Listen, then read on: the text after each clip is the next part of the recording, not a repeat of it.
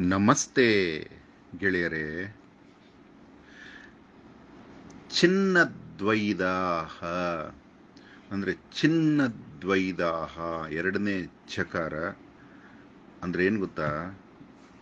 ಜ್ಞಾನದ ಮೂಲಕ ಯಾರು ಭೇದ ಭಾವವೆಂಬ ಸಂಶಯಗಳನ್ನೆಲ್ಲ ನಿವಾರಿಸಿಕೊಂಡಿರುತ್ತಾರೋ ಅವರನ್ನು ಚಿನ್ನದ್ವೈದ ಅಂತ ಕರೀತಾರೆ.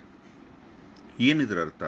ನಿಮಗೆ ಅಹೋರಾತ್ರ ಯಾವಾಗಲೂ ಹೇಳ್ತಾ ಇದ್ದ, ಪ್ರಶ್ನೆ ಕೇಳ್ಬಿಡಿ ಪ್ರಶ್ನೆ ಕೇಳ್ಬಿಡಿ ಆ ಪ್ರಶ್ನೆನ ನೀವೇ ತಿನ್ನಿ ಅಂತ.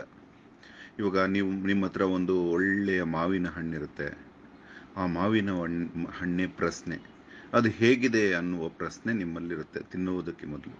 ಅದನ್ನು ಇನ್ನೊಬ್ಬರನ್ನ ಕೇಳುವುದು ಎಷ್ಟು ತಪ್ಪು ಅಂದರೆ, ಆ ಮಾವಿನ ಹಣ್ಣನ್ನು ಯಾರಿಗಾದರೂ ತಿನ್ನೋಕೆ ಕೊಟ್ಟು ಹೇಗಿದೆ? ರುಚಿ ಹೇಗಿದೆ?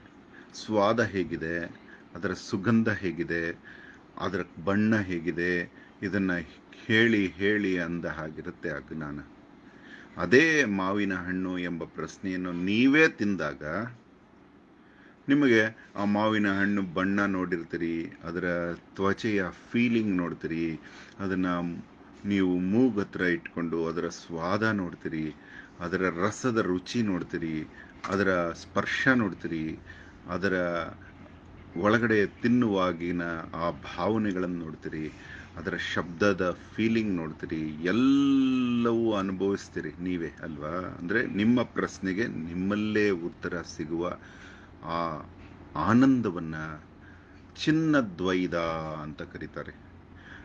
ಇದು ತುಂಬ ಸಂತೋಷ ಕೊಡೋ ವಿಚಾರ. ಅದಕ್ಕೆ ನಿಮಗೆಲ್ಲ ಪ್ರಶ್ನೆ ಕೇಳ್ತಿರಲ್ಲ ಪ್ರಶ್ನೆ ಕೇಳುವುದಕ್ಕೆ ಮುನ್ನ ಅದರ ವಿಪರೀತ ಏನಾಗುತ್ತೆ ಅಂತ ತಿಳ್ಕೊಳ್ಳಿ.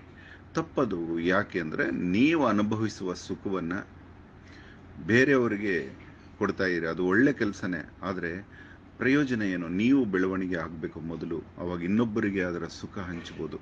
ಇನ್ನೊಬ್ಬರಿಗೆ ಪ್ರಶ್ನೆ ನುಂಗುವುದನ್ನು ಕಲಿಸುವುದೇ ನಿಜವಾದ ಒಳ್ಳೆಯ ಲಕ್ಷಣ ಅದು. ಪ್ರಶ್ನೆ ನುಂಗಿದರೆ ಉತ್ತರ ಹೊರಬರುತ್ತೆ. ಯಾರಿಗೋ ನಿಂಗ್ ನುಂಗಿಸಿ ಆ ಹೊರಬರೋ ಉತ್ತರದಲ್ಲಿ ಸಿಗೋ ಆನಂದಕ್ಕಿಂತ ನೀವೇ ನುಂಗಿ ನಿಮ್ಮೊಳಗೆ ಉತ್ತರ ಬರುವುದರಲ್ಲಿ ಸಿಗುವ ಆನಂದ ಅತಿ ಹೆಚ್ಚು ಗೆಳೆಯರೆ. ಹಾಗಾಗಿ ಚಿನ್ನದ್ವೈದ ಅನ್ನೋ ಶಕ್ತಿ ಅಷ್ಟು ಪರಮಾನಂದವನ್ನ, ಬ್ರಹ್ಮಾನಂದವನ್ನ ಕೊಡುತ್ತಂತೆ.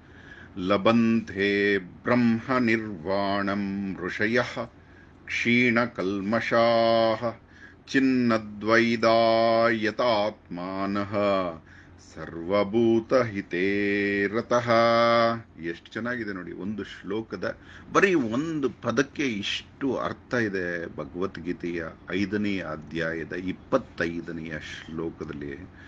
ಏನು, ಇನ್ನು ಬೇರೆ, ಇನ್ನು ಕ್ಷೀಣ ಕಲ್ಮಶಾಹ ಅನ್ನೋದ್ರ ಬಗ್ಗೆ ಇನ್ನೆಷ್ಟು ಹೇಳ್ಬೋದು?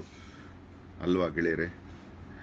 ಧನ್ಯವಾದ, ಅಹೋರಾತ್ರ.